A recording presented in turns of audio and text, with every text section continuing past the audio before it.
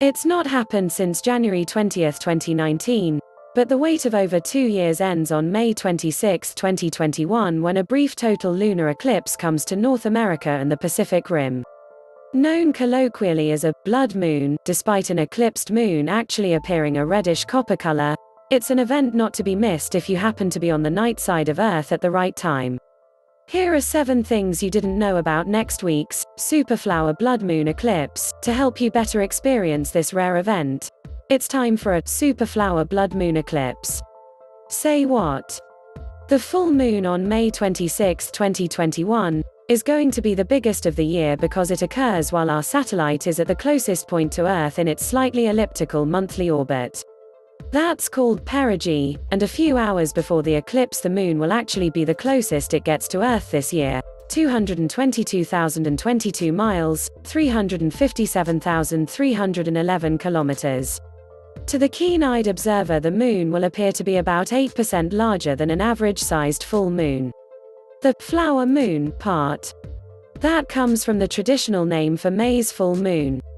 The eclipse itself is purely a visual event but the supermoon nature of the moon's position will mean a very high and very low perigean spring tide, aka a king tide, so brings the threat of flooding to coastal areas. That's particularly important because as this map shows, the entirety of this eclipse will be visible only to those around the Pacific Rim, from the west coast of the US to the South Pacific, New Zealand, Australia and Eastern Asia.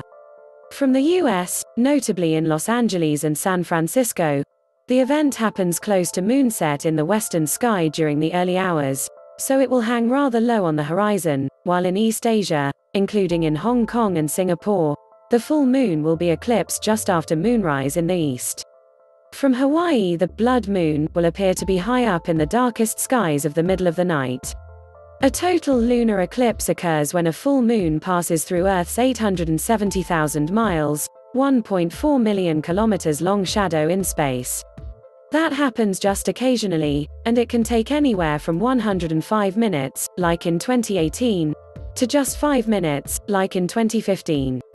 On May 26, 2021 it will last for just 14 minutes and 30 seconds, not far off that minimum, because instead of traveling through the center of Earth's shadow it will pass through its northern part, just 21 miles, 34 kilometers, from its outer edge. Consequently the Moon's northern limb is predicted to be rather bright during totality. During the eclipse the Moon will be in the constellation of Scorpius, and about 5 degrees from an enormous star called Antares.